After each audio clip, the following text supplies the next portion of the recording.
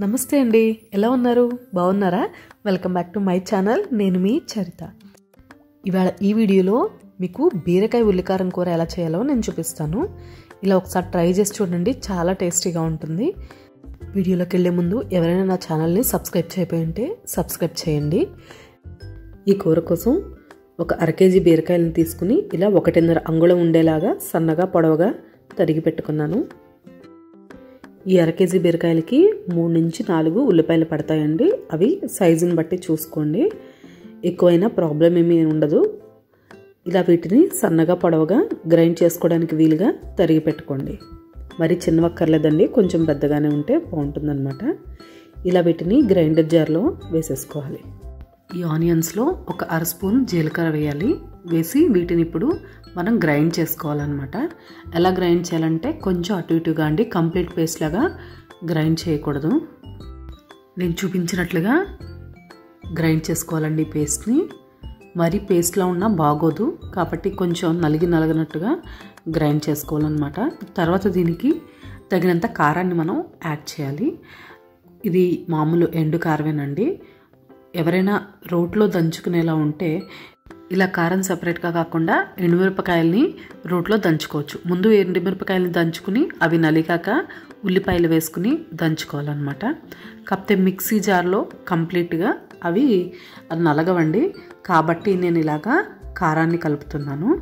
ఇలా కారాన్ని కంప్లీట్గా మిక్స్ చేసేసుకోవాలి మనం. తర్వాత ఒక కడాయిని తీసుకుని దానిలో ఆయిల్ని వేసి హీట్ చేసుకోవాలి.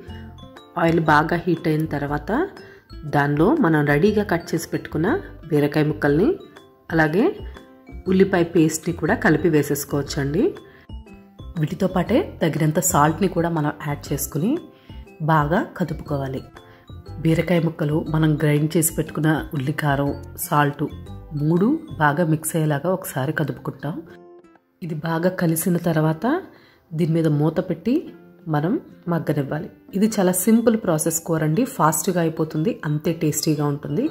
గ్రేవీ ఎక్కువ కావాలి అనుకునే వాళ్ళు కొంచెం ఆనియన్స్ ఎక్కువగా మనం వేసుకోవచ్చు.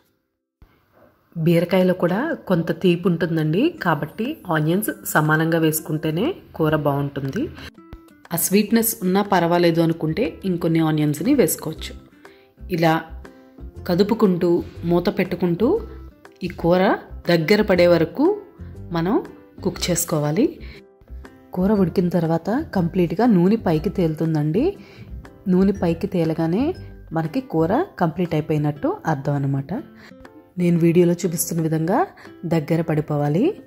కూర అప్పుడు స్టవ్ ఆఫ్ చేసుకుని రైస్లోకి కానీ చపాతి పుల్కా ఇలా దేనిలోకైనా ఈ కూర చాలా టేస్టీగా ఉంటుంది. సాధారణంగా మనకి బీరకాయ చాలా తక్కువ అవుతుంది కదండి కూర. కానీ ఈ వెరైటీతో ఆ ఇబ్బంది ఉండదు ఇదండి మన టేస్టీ ఎమ్మి ఎమ్మి బీరకాయ కూర. ఒకసారి ఎలా వచ్చిందో ట్రై చేసి నాకు కామెంట్ సెక్షన్లో చెప్పండి. Thank you for watching.